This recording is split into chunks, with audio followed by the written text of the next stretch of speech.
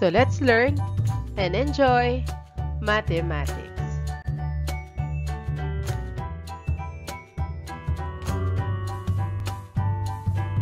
We will discuss transform quadratic function into vertex form.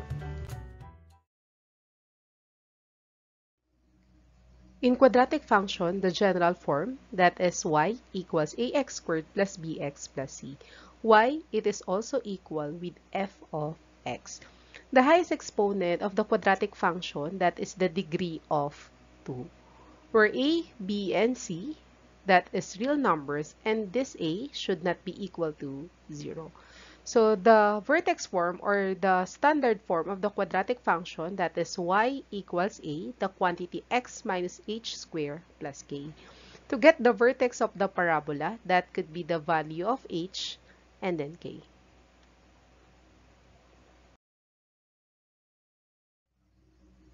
How to transform a general form of the quadratic function into vertex form. So how to convert? To convert, let us use the completing the square of the quadratic function.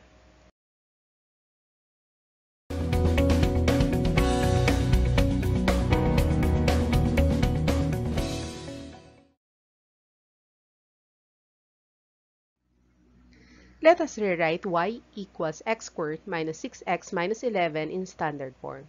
And let us identify the value of a, h, and then k. The vertex form must be written or the standard form must be written in y equals a, the quantity x minus h squared plus k. So let us solve now. So this is the equation. So let us combine x squared minus 6x. Let us write the parentheses. Afterwards, let us complete the square inside the parentheses and then outside the parentheses. So maglalagay tayo ng blank, the number to be added to make this equation a completing the square. So, ano kayo number to be added inside and outside the parentheses? So, the formula, that is b divided by 2 square. So, the value of b, that is negative 6 divided by 2 and then square. Negative 6 divided by 2, that is equal to negative 3. Negative 3 times negative 3, that is equal to positive 9. So, the number to be added, that is equal to 9. 9 times 1 is 9. So it means the number to be added is equal to 9. So let us solve now for the square of binomial. So that becomes the square root of x squared, that is x. Copy the sign of b. The square root of 9 is 3, and then square. So if we want to check x times x is x squared, x times negative 3 is negative 3x times 2, that is negative 6x. Negative 3 times negative 3, that is positive 9. Afterwards, let us add outside the parentheses, negative 11 and negative 9, that is negative 20. So the vertex form of this equation or the standard form that is equal to y equals the quantity x minus 3 square minus 20. Let us identify now the a, h, and k. The value of a that is equal to 1 the value of h. If h is equal to negative 3, change the sign. That becomes positive 3. Because based on the formula, that is x minus h. So you need to change the sign to identify the value of h. How about the value of k? So k, we need to copy. That is equal to negative 20. a is 1, h is equal to 3, and k equals negative 20. In example number 2, let us express y equals x squared plus 2x minus 5 into the standard form. Find the value of a, h, and then k. So this is the standard or the vertex form. So first, we need to copy the equation. And let us combine x squared and then 2x. So let us write the parentheses. And then, to make this equation a completing the square, we need to add inside the parentheses and then outside the parentheses. So as you can see, plus and then minus. So the formula b divided by 2 squared. So the value of b that is 2 divided by 2 squared.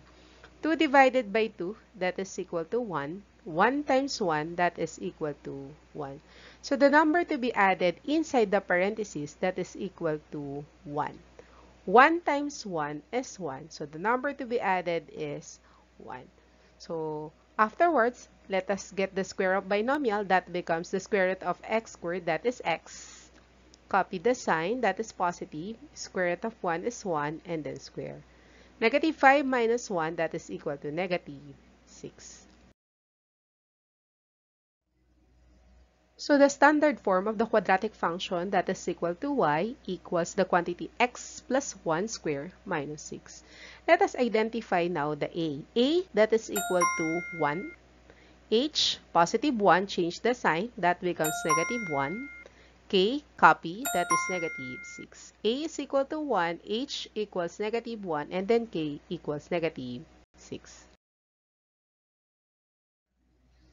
How about example number 3? Express y equals 2x squared plus 8x minus 22 into the standard form or the vertex form of the equation. And let us identify the value of a, h, and k. So let us copy the equation. So we will combine 2x squared plus 8x. So ito yung lalagyan natin ng parentheses. And then this one, negative 22, outside the parentheses. So the common factor between 2x squared and 8x is 2. So 2 divided 2x squared divided by 2, that is x squared. 8x divided by 2, that is 4x, and then copy negative 22. Afterwards, let us complete the square. So what could be the number to be added inside the parentheses and then outside the parentheses? So that is plus and then minus. So let us compute. So the value of b, that is 4, divided by 2 square. 4 divided by 2 is 2 square. 2 times 2, that is equal to 4. So the number to be added inside the parentheses, that is equal to 4. And then afterwards, 4 times 2 is 8. So the number to be added, that is equal to 8. So let us solve now. y is equal to 2, and then the square root of x squared is x. Copy the sign that is positive. The square root of 4 is 2 and then square. Let us add negative 22 minus 8 that is equal to negative 30.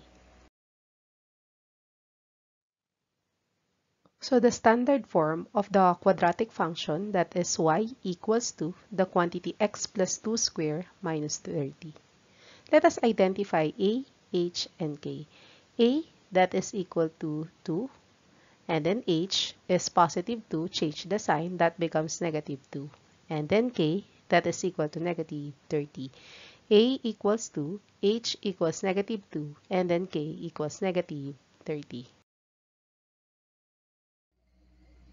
Let us express 2x squared plus y equals 10x minus 5 into the standard form. And let us identify the value of a, h, and k. First, we need to copy the equation.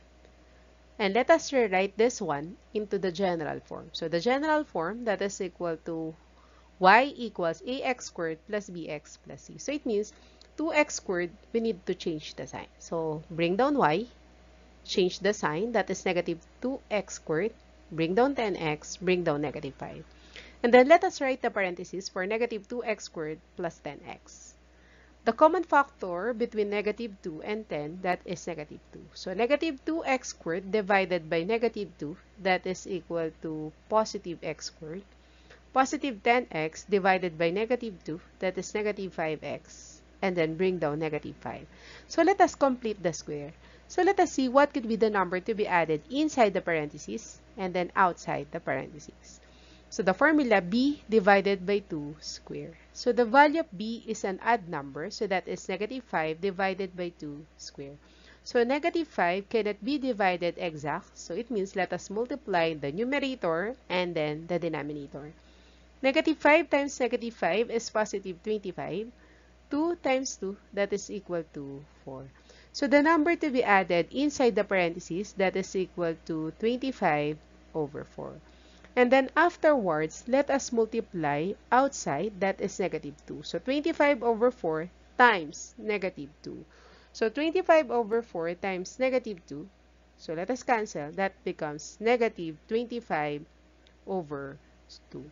So this one, that becomes negative 25 over 2. So y equals negative 2.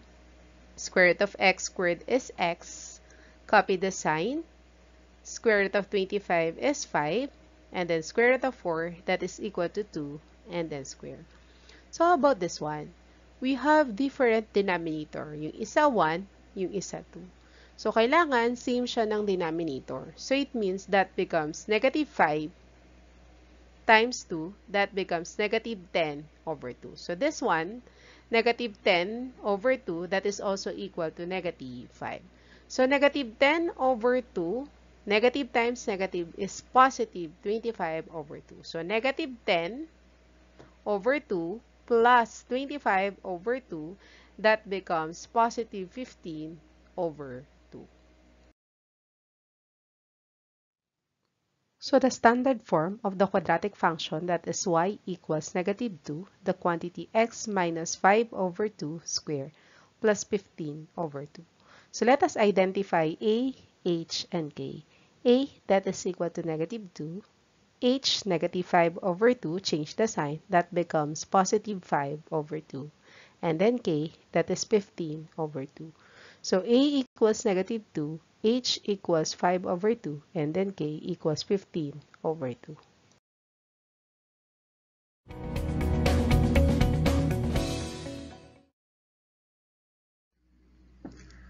Instruction. Transform into the standard form of the quadratic function. Give the value of a, h, and k. Provide your answers in the comment section.